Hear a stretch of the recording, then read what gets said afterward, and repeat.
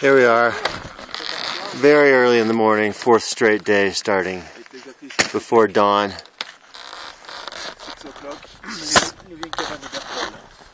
Cabane de Bertol is not here, not there, but way up there, which you can't even see.